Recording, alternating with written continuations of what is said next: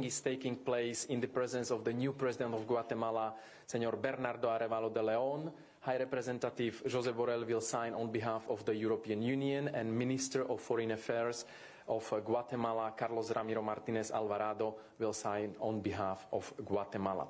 La firma tiene lugar en presencia del nuevo presidente de Guatemala, señor Bernardo Arevalo de León, y el alto representante José Borrell va a firmar el memorando en nombre de la Unión Europea y el ministro de Asuntos Exteriores, Carlos Ramiro Martínez Alvarado, firmará por parte de Guatemala. Podemos proceder. We can proceed.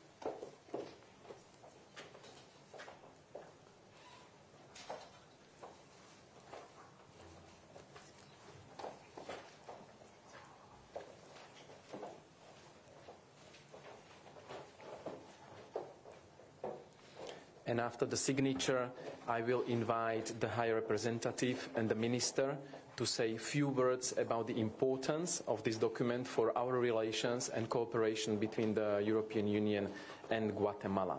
Y ahora, después de la firma, invito al alto representante y al ministro también a explicar la importancia de este documento para nuestras relaciones.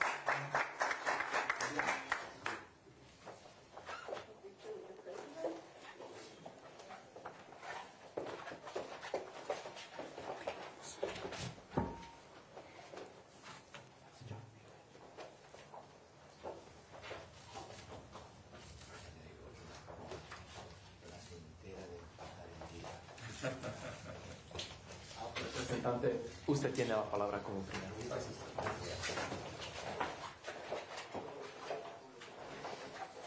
Señor presidente de la República de Guatemala, señor ministro, señoras y señores, eh, tuve el placer de visitar Guatemala hace pocas semanas para asistir a la toma de posesión del presidente Bernardo Arevalo.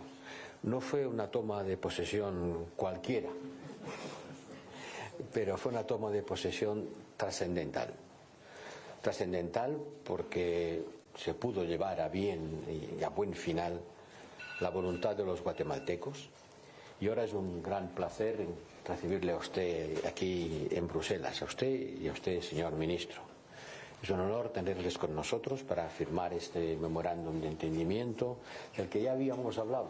Recuerda, presidente, cuando nada más llegar a Guatemala nos entrevistamos y dijimos que cuando usted estuviera en la presidencia las relaciones entre Guatemala y la Unión Europea debían florecer y desarrollarse.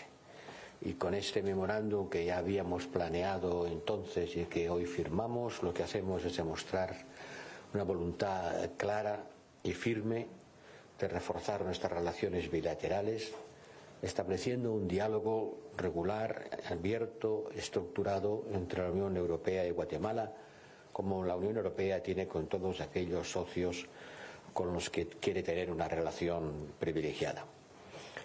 Ello va a desarrollar nuestras relaciones políticas, comerciales y de cooperación. Con usted, señor presidente, y con su gobierno, pero también y sobre todo con el pueblo de Guatemala. Nuestra visita y la de otros muchos líderes europeos a Guatemala durante su toma de posesión fue una muestra del compromiso de la Unión y de sus Estados miembros con el pueblo de Guatemala y con el firme apoyo al presidente que fue elegido en las urnas, hoy ya en ejercicio, don Bernardo Arevalo. Creo poder decir que el apoyo de la Unión Europea a la democracia en Guatemala ha sido permanente y coherente desde el principio. Quiero destacar el papel importante de nuestra misión de observación electoral, que fue desplegada en el territorio por su firme posición en la defensa de los resultados que la misma misión pudo constatar se habían producido en buena forma. Y además, el 2 de febrero, el Consejo de la Unión, es decir, los 27 Estados miembros, acordaron imponer medidas restrictivas a cinco individuos por considerar que socavaban la democracia y el Estado de Derecho en Guatemala. También lo anuncié antes de su toma de posesión y después lo hemos hecho porque nos preocupa no solamente lo que ocurre en Ucrania o en el Oriente Medio en nuestra inmediata vecindad, Nos preocupa también de qué manera la democracia y el Estado de Derecho son preservados en países como Guatemala, que aunque están más lejos geográficamente, están muy cerca, política, cultural, históricamente, con nosotros. Señor presidente, con este memorando reforzamos la voluntad de trabajar con su nuevo gobierno. Tenemos muchos retos, más allá de la buena gobernanza y el Estado de Derecho, esto es las condiciones necesarias, pero no siempre suficientes, para avanzar en la lucha contra la desigualdad. Yo sé cómo usted pretende llevar a cabo esa lucha por la justicia social en en un país con enormes desigualdades, un desarrollo sostenible que alíe el aumento del bienestar material con la defensa de los equilibrios ambientales.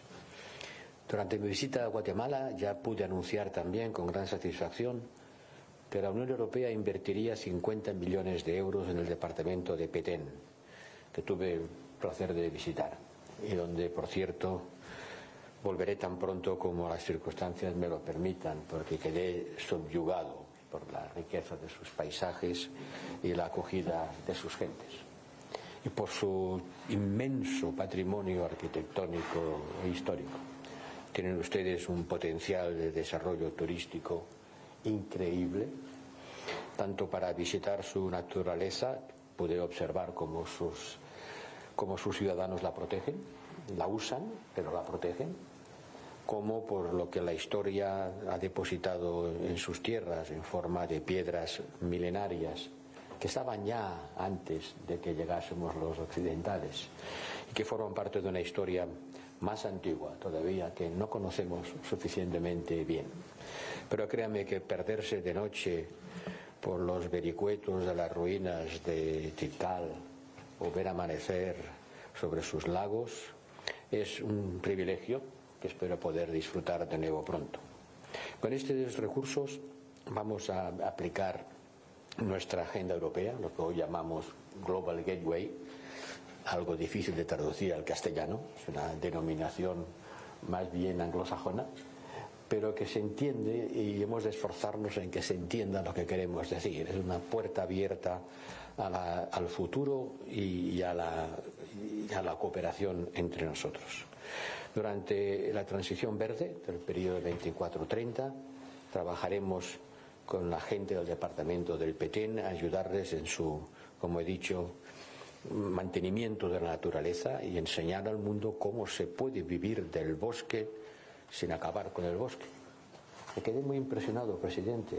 Ustedes tienen cosas que nosotros no tenemos, como el carnet de identidad de cada uno de los árboles de la selva, con sus coordenadas precisamente detalladas, su edad, su estado y la revisión permanente que los servicios de vigilancia forestal hacen para verificar que esos árboles siguen allí y no son objeto de tala abusiva. Vi también a sus bomberos voluntarios, eh, porque hay que cuidar el bosque desde todo punto de vista. Creo que nosotros tenemos mucho que aprender de cómo ustedes lo hacen. Como seguimiento de mi visita, ya les avanzo que los servicios de la Comisión Europea viajarán a Guatemala en marzo para seguir avanzando en este marco del Global Gateway. Señor presidente, señor ministro, me he alargado un poco porque quería decirles que esta mañana he empezado mi jornada de trabajo de una forma más placentera que de costumbre, con amigos, para hablar de proyectos de futuro, para reforzar lazos, profundizar en la asociación en todos los niveles con ustedes y con la región. Espero verle pronto quizá en la cumbre de CELAC y en todo caso esta casa está abierta para Guatemala y para usted las 24 horas del día, todos los días a la semana. Muchas gracias.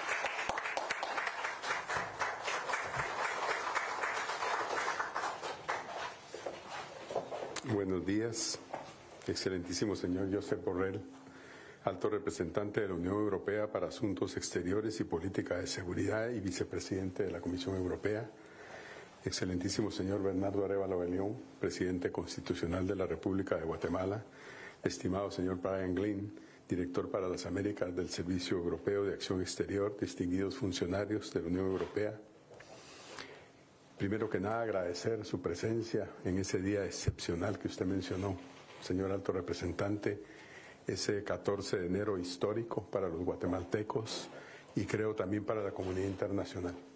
Su presencia como testigo de lo que estaba sucediendo ese día y de lo que había sucedido en los meses anteriores fue fundamental. El papel de la misión de observación también, así que estamos muy, muy agradecidos por ellos. Es un honor para mí compartir este espacio con ustedes y celebrar este momento tan significativo en la relación entre la Unión Europea y Guatemala, con la suscripción del memorándum de entendimiento por medio del cual se establece un mecanismo de consultas bilaterales como resultado de un diálogo constructivo y de una colaboración fructífera entre ambas partes. El mecanismo hoy acordado permitirá fortalecer nuestra relación bilateral, dado que sistematiza el diálogo entre Guatemala y la Unión Europea. Constituye también una plataforma muy importante para desarrollar una agenda concreta de largo plazo basada en valores compartidos, tales como la democracia, los derechos humanos, el desarrollo sostenible y la estabilidad a nivel global. Nuestra agenda bilateral abarca una gran diversidad de temas que van desde el comercio y la inversión hasta la cooperación para el desarrollo, la promoción de los derechos humanos, la cultura y la educación. Con base en lo anterior, percibimos grandes oportunidades de trabajo en conjunto con la Unión Europea para continuar estrechando nuestros lazos en áreas como los proyectos para el desarrollo bajo la iniciativa Global Gateway y la continuidad de los ya existentes la agenda de seguridad enmarcada en el programa El Pacto y la adhesión de Guatemala al Consejo Latinoamericano de Seguridad Classic, que lo haremos en los próximos días. El fortalecimiento del diálogo bilateral en el marco de la Alianza Digital Unión Europea, América Latina y el Caribe, suscrita el año pasado. La identificación de vías para incrementar y asegurar la fluidez de nuestro comercio hacia la Unión Europea. La firma de este mecanismo marca un hito importante en nuestra relación y refuerza nuestro compromiso, nuestro partenariado con la Unión Europea. En ese sentido, quisiera expresar mi sincero agradecimiento a todos los involucrados en la negociación y la suscripción de este acuerdo. Su dedicación y compromiso son testimonio de la determinación de ambas partes para fortalecer nuestra asociación y promover el bienestar de nuestros pueblos. Esperamos muy pronto llevar a cabo la primera reunión de alto nivel del mecanismo de consultas bilaterales y desde ya son bienvenidos a Guatemala para su realización. Asimismo, esperamos una nueva y pronta visita del alto representante a nuestro país.